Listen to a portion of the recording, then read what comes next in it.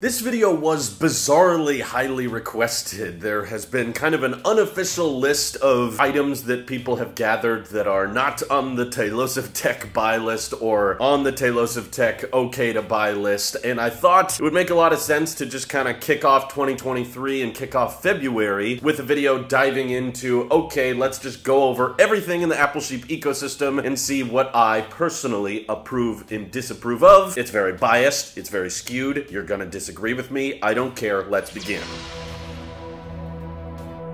Of course, the core to any Apple sheep ecosystem has to be the iPhone, and right now, Apple kind of makes it hard to see the entire iPhone lineup, so I had to redesign their which iPhone is right for you page, but starting with the 14 Pro and 14 Pro Max, this is actually a pretty easy buy for me, because while yes, it's not that massive of an upgrade over the 13 Pro and Pro Max, this is just what you should get if you want the best of the best. No question of money, it doesn't matter how much it costs, you just want a really, really good phone that's gonna last you a long time, that's gonna hold its resale value. It's got an amazing camera, great battery life, great display. It's the only iPhone with an always-on display. So yeah, while it's not necessarily for me or for everybody, it gets my best smartphone of all time selection. So yes, it's a buy. However, when we come to iPhone 14 and iPhone 14 Plus, reusing the A15 chip, still charging quite a bit for those new models. These, unfortunately, I'm gonna have to give a non-Tailosive Tech approved purchase decision. So yeah, I would definitely feel different if these had USB-C or if they had Dynamic Island or a better chip. This might change when the iPhone 15 lineup drops, but for now, I cannot give the iPhone 14 a buy rating. It's just so insanely similar to what's next in the lineup, the iPhone 13, which I most definitely have to give both the regular iPhone 13 and the 13 mini a serious buy recommendation because they have so much in common with the newer iPhones, and if you're not a diehard for that 120 hertz ProMotion, you don't need that dynamic island. Still, you can get amazingly good camera performance out of those iPhone 13 series. You can buy them even cheaper, certified refurbished or secondhand. They still have very bright displays, very good battery lives. They have MagSafe support and all that. So yeah, iPhone 13 series, both the mini and the regular one, are amazing buys. But to kind of contrast that as well, I have to give the iPhone SE3 a do not buy because not only did they not update the camera, camera. They didn't even give it MagSafe, which they totally could have, but they raised the price by 30 bucks on this iPhone that has so much in common with the SE2, which if you're willing to go with a home button iPhone and have a 4.7 inch LCD display, hey, no judgment here if that's good enough for you, but if that's good enough for you, then an iPhone SE2 is gonna be fine and probably half the price or less. You can find those secondhand and refurbished for so much cheaper than the SE3, which makes it so hard to recommend, so I'm gonna say don't on that one. And while Apple doesn't make it super obvious on their website, they are still selling the iPhone 12. Not the 12 mini, it's not currently in the lineup, but for 599, it does have a lot of similarities with the 13. I would say my biggest issue with the 12 is just going to be that the battery life is quite a bit worse than the 13, but maybe you live in an environment or work in an environment where you're going to have readily access to chargers, like you have a MagSafe charger in your car, or you don't care too much about the camera performance and that kind of thing. Yeah, I'll definitely still give the iPhone 12 a buy rating. You know, even better if you can find it refurbished or secondhand. But overall, yeah, I would say this is uh, how I view the current iPhone lineup, what you shouldn't and should consider buying depending on your pricing structure. Now moving on to the iPad lineup. This one is going to be pretty brutal, I'm afraid, because Apple did very little with the M2 iPad Pros other than just slap an M2 chip in there and have the hover feature. And I'm sorry for like 800 and you can scale it up to, you know, well over $2,000 for those models models, I'm just gonna have to say don't buy them because they have so much in common with the M1 iPad Pro, which you can buy secondhand. And even if you just want the best possible tablet, I, am sorry, there's not that many advantages to getting the M2 iPad Pro versus the M1 or even the A12X because all of these things are running iPad OS. So all of the enhancements in mini LED or performance or any of that crap you can't really take advantage of because of the OS. So I feel somewhat similarly about the iPad Air 5 5, unfortunately. Like, it's cool that they stuck an M1 chip in there and all that, but again, you can't really take advantage of that power all that much with the iPad Air 5 because of the software, and you can find 2018 iPad Pros for way cheaper than what they're charging for the iPad Air 5, so maybe I could recommend it if you find it on sale or at heavily discounted, but for the sake of this video, we're just talking about the new products that Apple is offering, so I gotta say no to the regular iPad Air, and unfortunately, yes, I also have to say no to the iPad 10 because it is a complete disaster of a product. USB-C, but it requires the Lightning Apple Pencil. Also got a massive price increase, 450 bucks. Still not a laminated display. The best thing about it are the color options, but I'm sorry, most of you are gonna buy a folio cover or a keyboard case and you're not even gonna notice the color option on that iPad you choose. Just very expensive for not that much better. They even chose the slowest possible version of USB 2.0, even though they gave it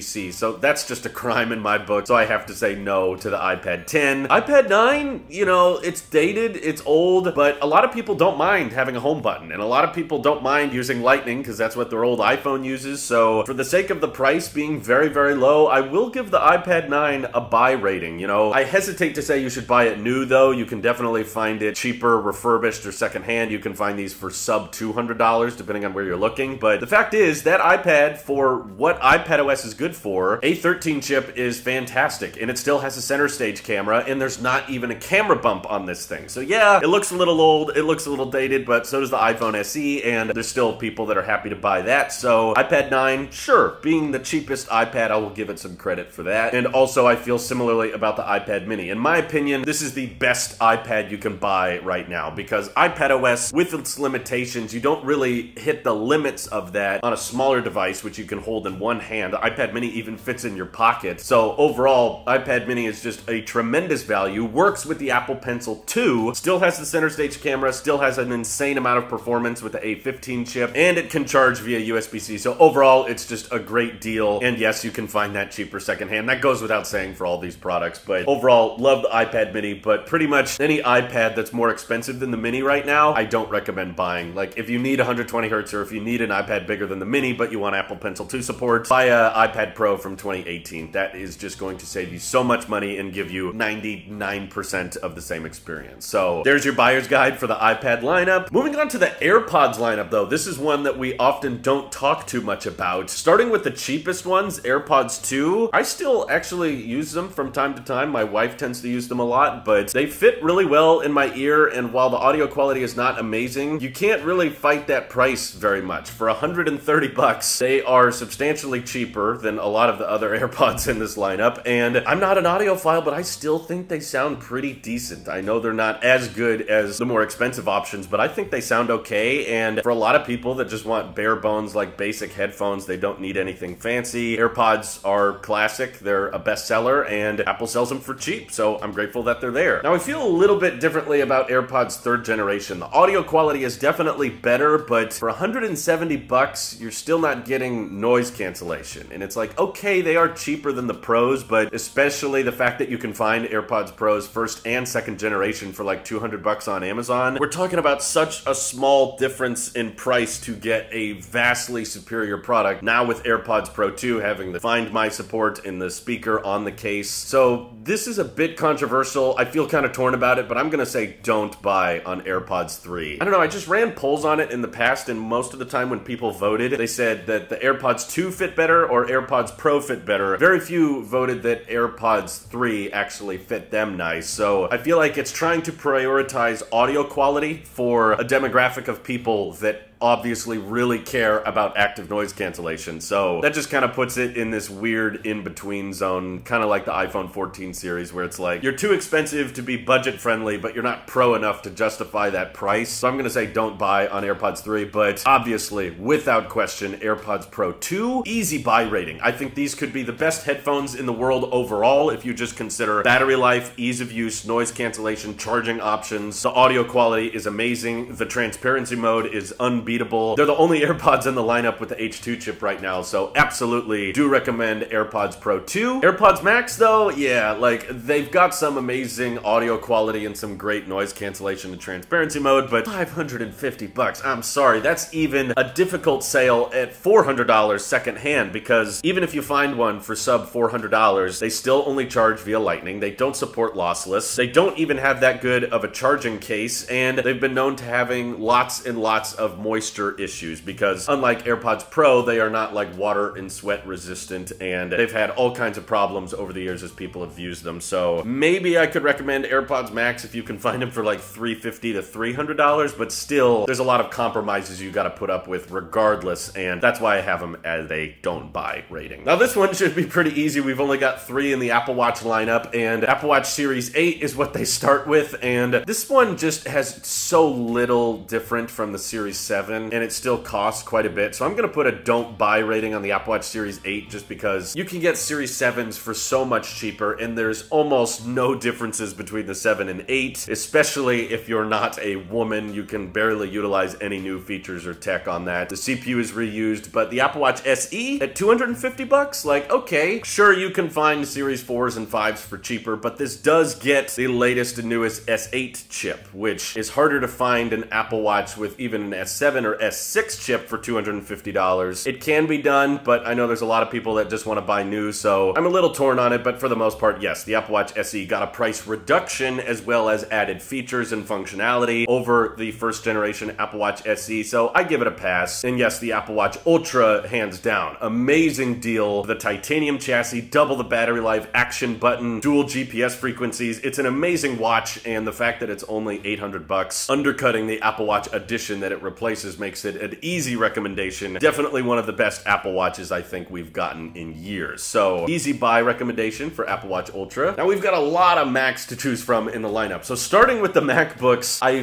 feel pretty confident in saying that yes, the M1 MacBook Air is still a good buy because a lot of people who just want a cheap basic laptop are going to be more than fine with the 13 inch LCD display. They don't need fancy bells and whistles like notches or full size function keys. They just want a laptop that works and has good battery life and is compatible with their ecosystem, in which case, yeah, buy the M1 MacBook Air refurbished or secondhand if you can, but still, it's way cheaper than basically everything else on the lineup here. M2 MacBook Air, yeah, some of you you might disagree with me here, but I just think that it's catering, again, to the pro market, but not justifying that price considering how close you are to being able to buy a 14 inch or 16 inch MacBook Pro refurbished, and that's just a way better laptop than this is. Some people care about the portability, but honestly, it's not that much lighter, and I didn't find it that much more compact when I reviewed it, so that goes the same for the 13 inch MacBook Pro. If you're a die-hard Touch Bar fan, just find an M1 MacBook Pro, you'll find way cheaper cheaper options for that, and the performance is going to be almost identical to the M2 MacBook Pro. And it's just such a dated design, and they're still charging so much for it. So I can't recommend the 13 inch MacBook Pro. And I'm really torn on the new M2 Pro and M2 Max MacBooks because while they are the fastest notebooks to ever exist, they do make some compromises with the NANDs, and that affects the read and write speed. So I guess I will give a buy rating to them, but I'm going to preface that I'm only giving a buy rating if you're buying a one terabyte model or, you know, a higher spec trim like 96 gigs of RAM. You couldn't get that before. So if you just need the most powerful laptop in the world, period, then yes, buy those. But if you're just looking at the base model, like entry level 14 inch and 16 inch MacBook Pros, no, I wouldn't recommend that. Only if you need lots of extra performance in those non-binned CPUs and GPUs for your work. That's the only situation where I'd recommend those, but it's kind of a lot of strings attached to that buy rating because I don't think the performance is really that much faster or justifies the extra price that you have to shill out for those Macs. Now coming over to the desktops, of course, the 24-inch iMac is ugly and dated, so easy, don't recommend that. M2 Mac Mini, though, is easily a recommend because it got a price reduction, and even when they're cheaping out on the NANDs, it's still way more powerful, and there's way more options for the Mac Mini now than ever before, which is great. The Mac Studio has some of the best ports and I.O. selection that I've ever seen, and still a great value if you care more about GPU performance that the Mac Mini can't give you. So I love the frontal I.O. I love that it has an SD card slot, unlike its big ugly brother, the Mac Pro, which still has not been updated. So biggest, like, do not buy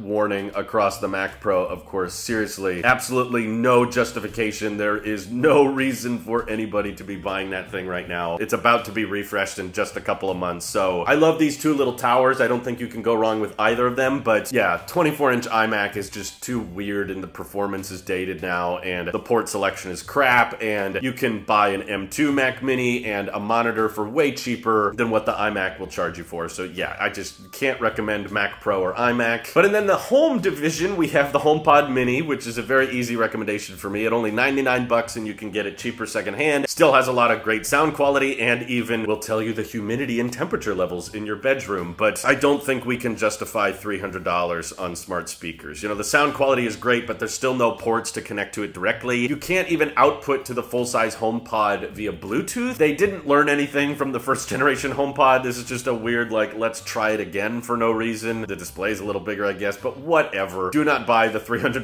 HomePod. But Apple TV 4K, this got faster, this got slimmer, it got USB-C with the Siri remote. So I'm gonna recommend both of them. If you really care about Ethernet, it's only 20 bucks more, which is not that much. And I know a lot of people that won't care about the Ethernet. So if that's the case, 130 bucks for the Apple TV 4K is a great deal and it's fanless now. Much, much better than the pricing it was before. Plus they doubled up on the storage, which is excellent. So easy recommendation for all of the Apple TVs available now. And I think all we have last is Apple services, which I don't really pay for any of these, but I thought it'd be fun to include them in the buyer's guide. So Apple Music, while the price is uh, getting a little bit higher than Spotify, it does still offer amazing sound quality and a great user interface. And I've been using a free trial for the past few months and I'm loving it. I love the lyrics feature. It's much better than Spotify's and the sing along feature. Of course, you guys love that. Apple TV Plus, you know, I'm not paying for it because I'm again on another free promo, but I gotta admit there's a lot of movies and shows we found on it that we like. And it's basically cheaper than most other streaming services considering there's no ads. Whereas most other services, if you want to get cheaper than five bucks a month, you gotta get some ad supported tier, which Apple doesn't do yet. So I kind of do recommend Apple TV Plus, but Fitness Plus, it's just workout videos, guys. Come on, like you can look at your Apple Watch and check your heart rate while watching any YouTube video and get the same thing. I can't recommend it for seven bucks a month. That's quite a bit of money for just enthusiastic workout videos. And Apple Arcade has some awesome games on it, but the fact that it's five bucks a month and you can't really take any of those games off of Apple Arcade makes it very expensive. And in my opinion, none of the games justify that infinitely growing price of arcade. So don't recommend that either. But of course, we may need to do more of these in the future, depending on what Apple releases and how they price it. But now you guys have a more official breakdown of what I think is a good buy and a bad buy. Do any of you have ecosystems that are purely of things I don't approve of? Feel free to let me know down in the comments below. And thank you to everybody supporting this channel directly on Tailosive Tech Pro. Seriously, helps us out a ton, as does just watching these videos. So thanks again. This is your Sheep here. I'll see you all in the next one.